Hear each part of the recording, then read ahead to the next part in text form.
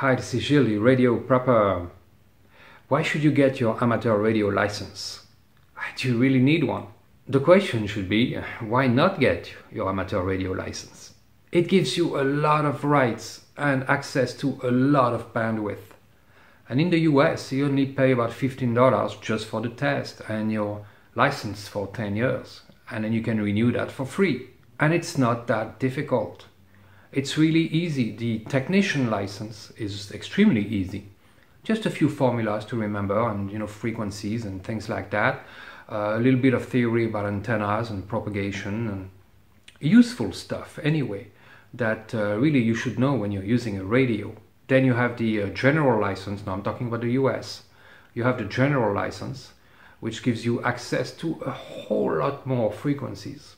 And finally, extra, which gives you access to everything. What I suggest everyone to do is, you know, just get one. Uh, you can't just buy a radio and say, well, you know, when the, it hits the fan, I'm going to set it up and use it, because it's not going to happen like that. Uh, there's a learning curve. It's not a big one, but there are things you need to know, and there are things you need to practice. It's like playing guitar. You know, uh, you can read about how to play guitar, and you can have a guitar in your closet, but the day someone, uh, you know, you have to bring it out of the closet and play a song, you're not going to play a song. And while radio is not quite like that, you have to learn to use your radio and you have to learn which bands work at certain times and how to cut an antenna to the proper length and, and how to uh, place it. And uh, I mean, there's so many things to know that you can't simply hope that you're going to have a radio and you plug it in and boom, you're going to talk to people. So do study for your license. You know, eh, there are free materials online. Uh, you can find uh, free uh, practice tests on qrz.com. Uh, you can get everything for free. Now, for people who like to have a structure and, and follow a class, I'll put a link down here below and you can use the uh, coupon Radio Preppers with an S, Radio Preppers to get 20%. But, you know, that's up to you. Uh, it depends on how you prefer to learn what I did is that I wanted to, uh, I didn't want to be only a technician. So I thought I would just buy the three books. So I went to the ARRL and I bought the three books. I bought Technician, General, and Extra. And you know, the books have about 15 chapters, and all the chapters from all the books are about the same. So the first chapter is about the same subject as the first chapter in the general book and the extra book. What I did is that I started to read chapter one from the technician book, chapter one from the general book, chapter one from the extra book. And every day I went up one chapter. So it took me two weeks. Now it took me quite some time, guys. Uh, it's not something you want to do if you're tired or you don't have enough time to read and do some exercises and really study and do some practice tests. So probably I spent about mm, maybe three hours a day uh, for, for two weeks. But it allowed me to uh, go to the test and uh, they'll let you try to pass all the tests. I didn't think I would pass extra uh, because there's a lot of material, it's a little bit you know more complicated and uh, the formulas are more involved and there's a little bit of math and uh, I didn't think I would pass that, but, but I did.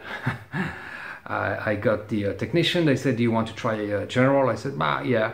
Uh, I was pretty sure I was going to get the general, so I, I, passed that no problem. And then they asked me if I wanted to try extra. I said yes, and uh, I was surprised I got extra also. So uh, that's really what I suggest you do. You try to get those three, or at least two, technician and general, the same day because otherwise it's just you know you're to forget you're to have to go back to it later you're to lose time you're to lose money uh, you have to drive back to the test uh, facility and, and do it again. It's not efficient you know. At least at the very least get technician and general.